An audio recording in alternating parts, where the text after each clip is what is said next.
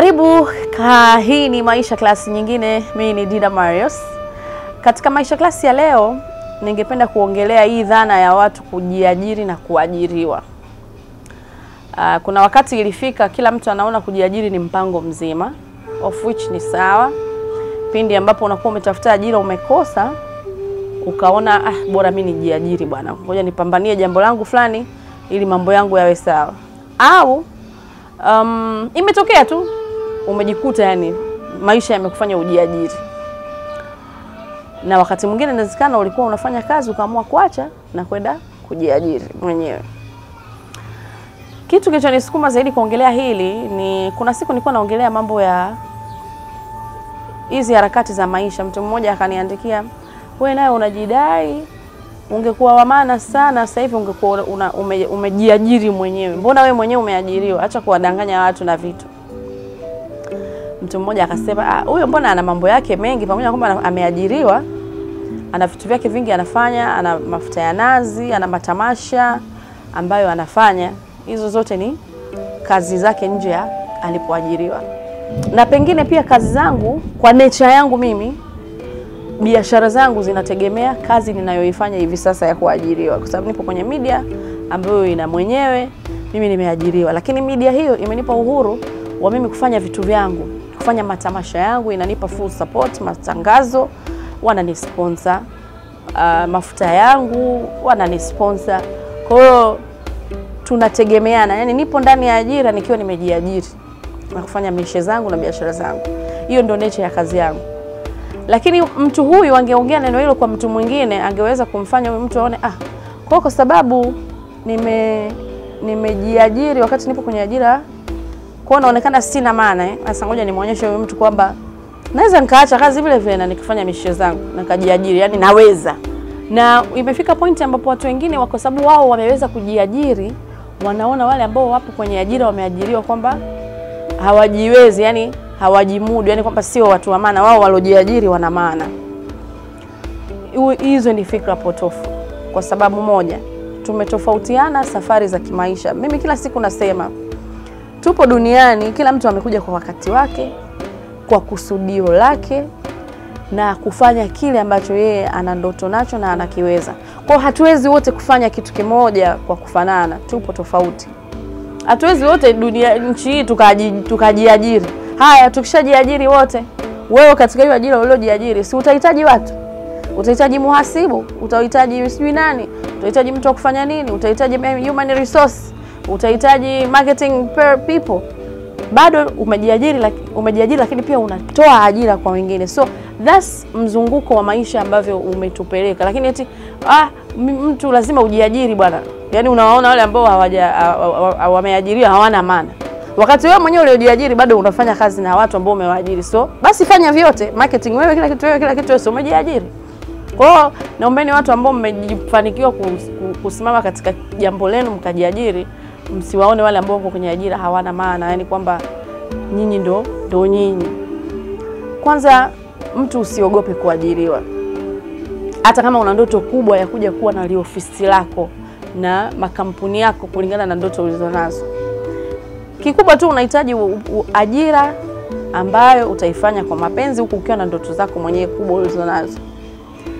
Katika ajira kuna mabosi, kuna mabosi au ndo ma CEO tena ma, ma, wenye makampuni yao. Ukiwa na bosi mzuri utajifunza. Huwezi kuja kuja kurani kampuni kubwa kama hauja haujajifunza kwa wengine.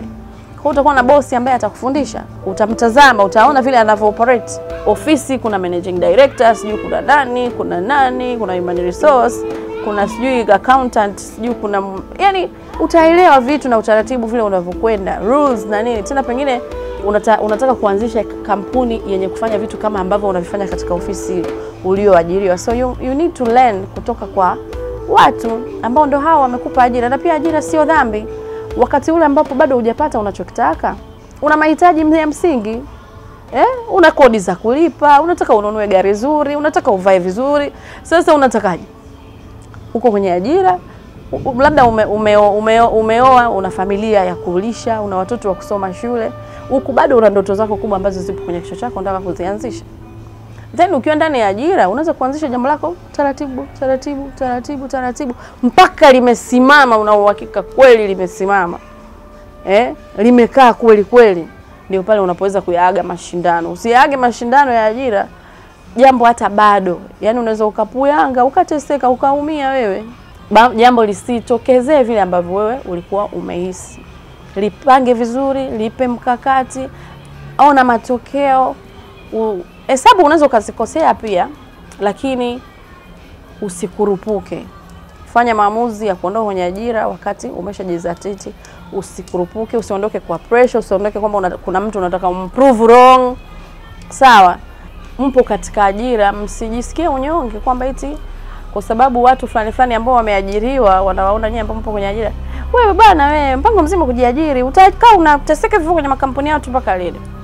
Kama muda wako wewe kutoka haujafika, usiwe pushed na maneno ya mtu yoyote, kwa sababu ajira tunazihitaji, na sio kila mtu hapa duniani atafanikiwa kuanzisha kampuni yake, na sio kila mtu hapa duniani atafanikiwa kuwa tajiri. Kama wewe malengo yako ni kwamba unaweza ukawa upo kwenye ajira ambayo let's say mtu katika kampuni yake anayoifanya amekuajiri wewe position ambayo wewe unaweka ujuzi uliousomea, unalipwa mshahara milioni tano eh, milioni kumi, milioni mbili, hela ambayo huyu ambaye pia na yeye katika biashara yake pengine kwa mwezi haiingizi, japo kajiajiri haiingizi.